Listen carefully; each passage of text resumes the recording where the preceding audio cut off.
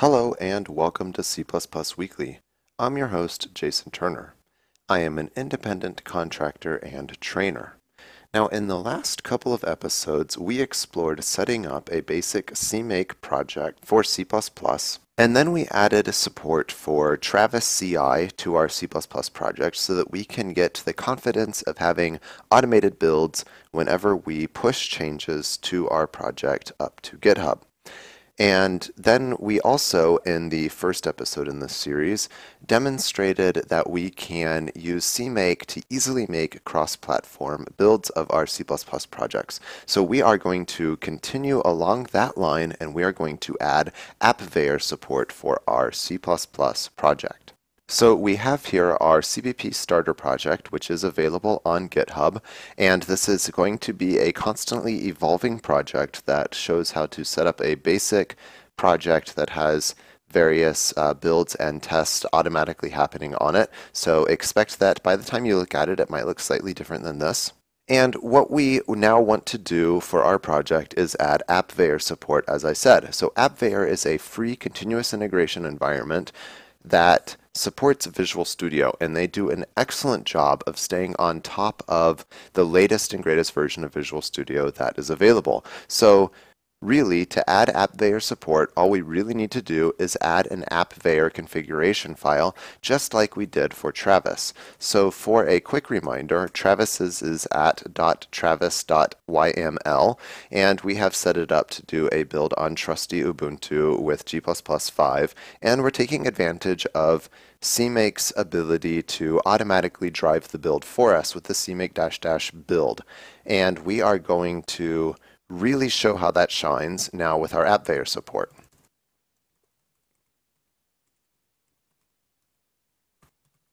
So AppVeyor is also a YAML file.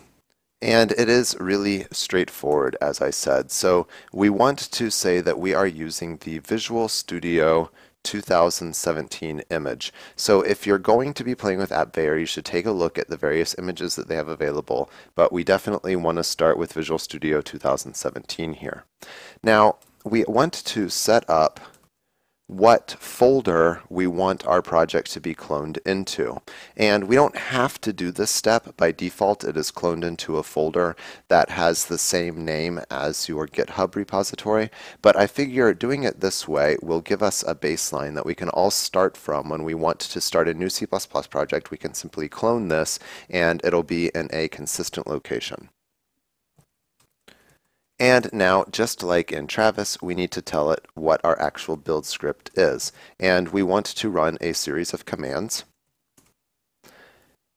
So we want to make a new build folder. That makes sense. And cd into it. And at this point, uh, the clone has already happened for us. And now we want to tell CMake to configure our project, which we have already specified is in the project source folder.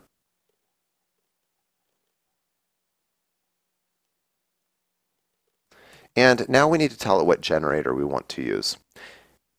And this is kind of an important step here because we want to use Visual Studio 2017, but CMake actually uses the Visual Studio version number as opposed to its name. So we're telling it we want Visual Studio 15 because that's what uh, release Visual Studio 2017 was. And now uh, CMake will have configured. And now we're going to take advantage, like I said, of that power of the dash dash build command and say that we want to run CMake build of the current repository. And in this case, we need to tell it what, what type of build we want to make, whether it's a release or a debug build or whatever. And we're going to do that by specifying the configuration that we want it to build with. So dash dash config debug and we'll just do a debug build because that compiles faster and we're not running a bunch of really expensive tests or anything. So this should be a pretty straightforward way of testing our debug builds automatically for Visual Studio 2017 with our test project. So now all that's left to do is to add this to our repository. But let's start by first exposing our project to AppVeyor. So then when we make this commit, AppVeyor will automatically pick up this new AppVeyor YAML file and will build for us. So AppVeyor, just like Travis, has built-in support for GitHub integration. So all we need to do is say we want to enable an existing project.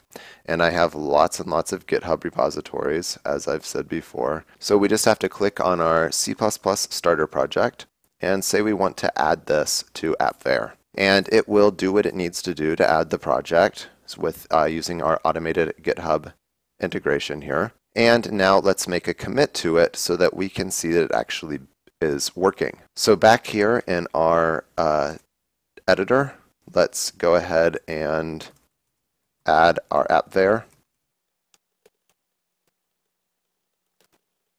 And we can see that it immediately picked it up and attempted to make the build, but unfortunately we have a syntax error in our AppVeyor YAML file. So let's get that cleaned up and get it pushed back over.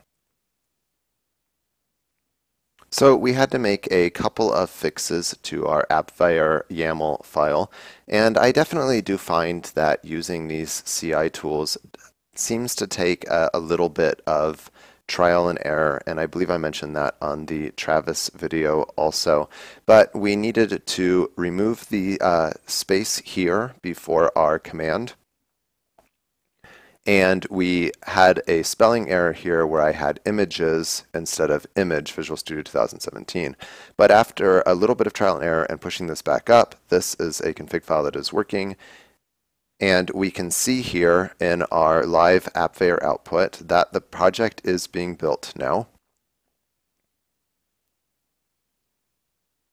And it has built the project and we don't have any tests running. So everything finished and completed, and we have a green indicator on our AppVeyor build here. So this is basic AppVeyor support for our C++ starter project. And like I said, you can check this out on GitHub and you can use it as a starting point for your projects that you want Travis and AppVeyor support. Be sure to subscribe, follow me on Twitter, and check out any of the links below.